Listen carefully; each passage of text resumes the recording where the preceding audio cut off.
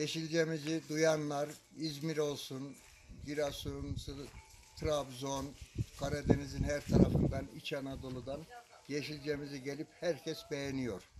Yeşilcemizin kışı daha değişik olur, yazı daha değişik olur, ilkbaharı daha değişik olur. Aşağı yukarı Yeşilcemizde 8-10 bin nüfusumuz vardır. Bunların çoğu İstanbul, Ankara, Türkiye'nin her ilinde yeşilceliğe rastlarsınız.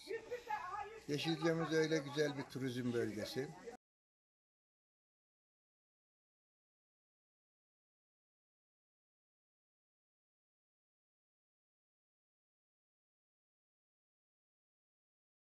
Geçen yaz Çambaşı Yaylası'ndan geçerken Yeşilce'nin e, güzelliğini keşfettik. Bizi çok cezbetti. Evlerin düzeni, e, doğal güzelliği, ormanı, ağaçları her şey çok güzeldi.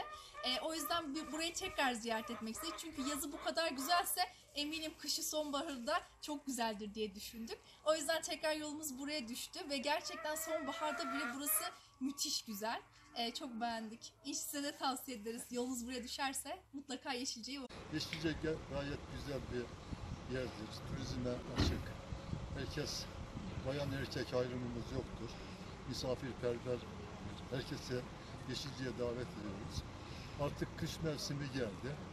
Kış mevsimiyle doğal güzelliğiyle her zaman da takdire şayandır. Herkesin gelip görmesini arz ediyoruz. Misafirperverliğimizi gelsinler, görsünler.